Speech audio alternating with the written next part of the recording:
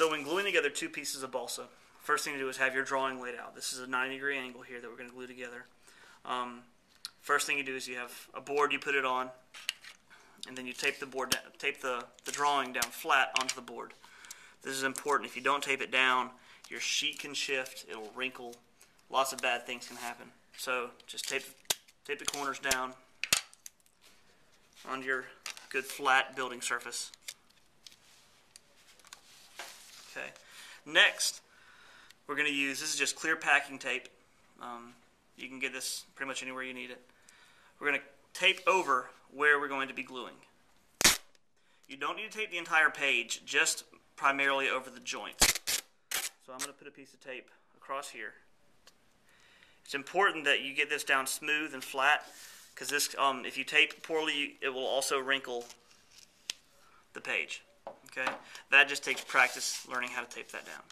Now, the CA glue that we'll be using will not stick to clear packing tape. At times, wax paper will melt if you use the accelerator with it, which we recommend using accelerator. Can melt the wax paper um, because it causes an exothermic reaction that can melt the wax and still stick to the paper. Clear packing tape doesn't have that issue. So, next, you take your piece of wood and you're going to mark your distances. Okay, I'm going to use a pen to do this. So put my mark right here. And then cut. This is a good sharp razor blade. It's a new razor blade and a little handle. This, this is nice for holding. X-Acto knives work okay, but these razor blades work a little bit better because it's easier to get them straight up and down. It's easy to roll your hand when cutting with an X-Acto knife. With these, it's easy to get it good and straight. Apply firm vertical pressure until your piece is cut. It's cut there. Now, if there's a little bit of an angle, you can sand it down to the angle you need it with an emery board. These are great. They're stiff. They've got good sandpaper on them. You can sand it down just a little bit till you get to the angle you want. Um, we always recommend cutting long, a little bit long, and sanding the edges down until they're flat. Okay? Now this piece I'm not going to cut just because this is a demonstration, but you would cut it to the length that you needed. Now, you put your piece there. To hold it down, you can just use tape.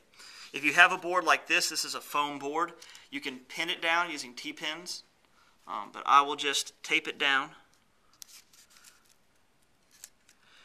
I get a lot of questions asking, should we draw the width? Here you see I only drew a line. Some people ask if they should draw the width so they know where the board go, um, the piece of wood goes. You can, or you can just draw one side and make sure that you remember that for here, that always goes on the inside of the wood. So this piece, instead of going this direction, will go on this side because it's on the inside of the wood. So I've got this piece taped down. Now I'm putting my wood there and I will tape that piece down too. Um, longer pieces, you can use two pieces of tape.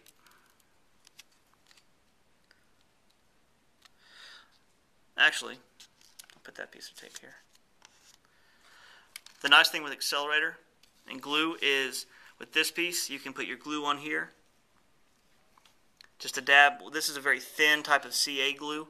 This is a Zap brand. You can get super glue in your hardware section at Walmart or Target or any, any place like that will have super glue back there. Um, this is CA glue is, is what this is called, but super glue is the same type of material. You've got your drop of glue. You'll put it in place. Make sure that it's good and straight. Hold that down, and then a dab of accelerator. This is accelerator. They also sell this at Walmart. Um, the Walmart comes in a small glass um, container that has an, a dropper with it. Uh, it's the same stuff as this. It just comes with a dropper instead of in a spray bottle. It works fine too. By now, your joint should be dry. It takes no time at all for the accelerator to dry that super glue. You peel your tape back. Like that. And sometimes it is a little stiff. You can just take your knife and run it under and pops right up just like that. And your joint is glued. It's good and solid. If you want to, if you feel like that's not a good joint, you can add more super glue to it. But remember, especially building towers and things where weight matters, um, the less glue you use, the lighter your, your device will be. So.